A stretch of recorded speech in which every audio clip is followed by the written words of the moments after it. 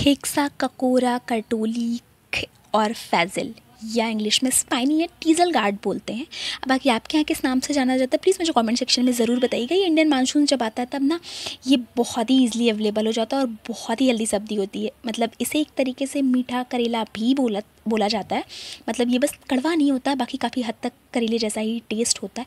तो इसके ना जो ये टाइनीज़ होते हैं मतलब इन कांटे जैसे जो होते हैं ना स्पाइंस में, इसमें थोड़ी बहुत इम्प्योरिटीज़ रहती हैं तो इन्हें अच्छे से धुल लेना है, साफ़ कर लेना और साफ़ करने के बाद ना, ये जो ऊपर और नीचे के दो सेक्शंस होते हैं ना, इसे आपको कट कर देना और कट करने के बाद जैसे आप करेला कट करते हैं ना गोला गोला उस तरीके से इसे कट कर लेना मतलब इस तरीके से अगर आप कट करेंगे ना तो देखने में सच में बहुत ही सुंदर लगता है। और उसके बाद कट करने के टाइम में आप एक चीज़ का ध्यान रखिएगा कि बहुत मोटे सेक्शंस में सो नहीं कट करना है, वरना ये पकने में बहुत ज़्यादा टाइम लेगा। और यहाँ पे मैंने मतलब एक मीडियम शेप में से कट करने की कोशिश करी है और अगर आप जब इसको अपने हाथ को राउंड कर करके कट करेंगे ना, अगर थोड़े से अगर ये टाइट वाले होंगे तो थोड़ी प्रॉब्लम होती है, लेकिन अपने हाथ को घुमाते हुए जब इसे आप कट करेंगे तो ये बहुत ही ईजिली तरीके से कट हो जाएँगे और कोशिश करिएगा कि ये स्पाइंस है ना, इसमें स्पाइंस है तो चाकू भी स्पाइंस वाली लीजिएगा तो काटने में बहुत आसानी होगी। उसके बाद ये मैंने ऐसे गोले गोले शेप में कट कर लिए ना, ये मतलब बहुत ही सुंदर लग रहे थे मुझे देखने में, मुझे तो देखने में ये बहुत सुंदर लग रहे थे। उसके बाद ये सारे ककोराज कट गए हैं, कटने के बाद मैंने इसमें थोड़ी और चीज़ें भी ऐड करनी है, जैसे कि प्याज, मिर्च और जीरा वगैरह, बाकी बहुत ज़्यादा चीज़ें ऐड नहीं करनी है, और प्याज भी मैंने इसी सीट में कट कर लिया था। उसके बाद थोड़ा सा तेल गर्म करना है। और मस्टर्ड ऑयल में ही मैंने ये सब्ज़ी बनानी प्रेफर करी आप भी मस्टर्ड ऑयल मतलब डेली यूज़ की सब्ज़ियाँ तो मस्टर्ड ऑयल में ही बनती हैं। तो मस्टर्ड ऑयल के साथ मैंने उसमें जीरा डाल दिया है, मिर्च डाल दी और उसके बाद अपनी प्याज को डाल दिया और प्याज को अच्छे से थोड़ा सा ब्राउनिश होने तक भून लेना है। मतलब अल्टीमेटली इसकी शार्पनेस ख़त्म करनी है, उसके बाद थोड़ा ब्राउनिश हो जाए ना, उसके बाद हमें इसमें ऐड करना है, ये ककोरा, खेक्सा, फैजिला, जो भी बोलते हो। मतलब आपके यहाँ जिस भी नाम से ये जाना जाता हो, कंटोला भी बोला जाता है इन्हें कुछ जगहों पे। बाकी हमारे यहाँ तो ये खेक्सा के नाम से ही जाना जाता है। बेसिकली मैं जहाँ से बिलोंग करती हूँ।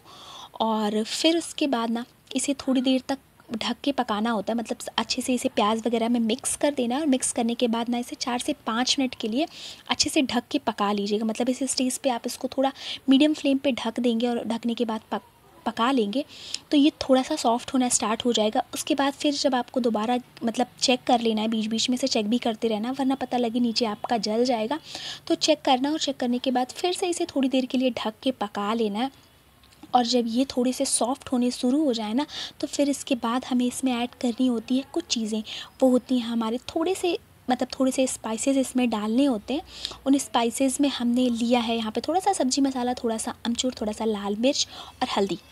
उसके अलावा कुछ भी ज़्यादा डालने की ज़रूरत नहीं है। अमचूर जो होता है वो खटास के लिए अच्छा होता है। तो जैसे हम करेले में डालते हैं, वैसे इसमें भी डालेंगे तो टेस्ट सच में बहुत अच्छा आएगा और मसालों की क्वांटिटी बहुत ज़्यादा नहीं रखनी है। ये लगभग मैंने साढ़े तीन सौ ग्राम तक ये सब्ज़ियाँ मतलब ये मैंने ककोरा लिया हुआ था तो उसके लिए मैंने ये स्क्रीन पे जितना दिखाया उतने ही मसाले का इस्तेमाल किया है। और अगर अगर आपको थोड़ा ज़्यादा स्पाइसी खाना पसंद है तो आप अपने हिसाब से उसे मैनेज कर लीजिएगा।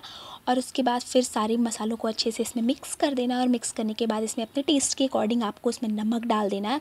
और नमक डालने के बाद फिर नमक को अच्छे से मिक्स करना और फिर थोड़ी देर के लिए इसे पकने के लिए छोड़ देना है। पकने के लिए छोड़ देना इन द सेंस कि फिर इसे ढक के रख देना है थोड़ी देर के लिए। और ये धीमी धीमी आँच पे बहुत अच्छे से, बहुत ही सोंधा सा ककोरी की सब्ज़ी बन के तैयार होगी, जो कि सच में बहुत ही हेल्दी होती है।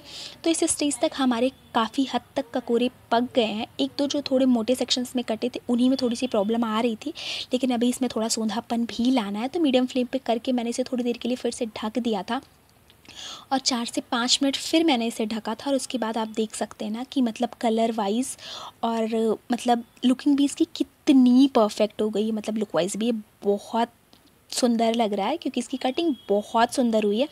उसके बाद फिर लास्ट में इसमें ऐड करनी है ढेर सारी धनिया, और धनिया डालने के बाद ना बस इसे मिक्स कर लेना है गैस के फ्लेम को ऑफ़ कर देना, और ये बहुत ही टेस्टी हेल्दी और सुंदर सी सब्ज़ी बन के तैयार है। और ये ककोरी की खासियत क्या होती है? पता है, ये स्किन हेल्थ के लिए बहुत अच्छा होता है वेट लॉस में बहुत इफ़ेक्टिव होता है डाइजेशन अच्छा रखता है शुगर कंट्रोल करता है और इसमें एंटी एजिंग प्रॉपर्टीज़ भी होती हैं। तो अगर आप ऐसी सब्जियों का इस्तेमाल करेंगे तो आपको किसी आर्टिफिशियल सीरम वगैरह की ज़रूरत बिल्कुल नहीं पड़ेगी।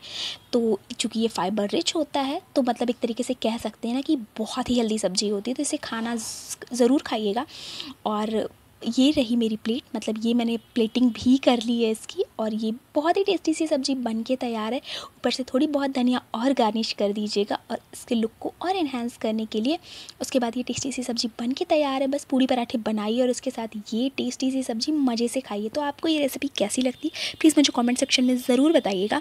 और हाँ मुझे अपने फीडबैक्स भी ज़रूर दीजिएगा। कोई प्रॉब्लम है, कोई कमियाँ हैं तो वो भी मुझे ज़रूर बताइएगा। और नेक्स्ट मैं आपके लिए क्या कुक कर सकती हूँ, ये भी मुझे ज़रूर बताइएगा। मुझे बहुत ही अच्छा लगता है। जब मुझसे कोई कुछ कुक करने के लिए कहता है तो बस खाए पी खुश रहे अच्छा लगा तो शेयर करें। Thank you so much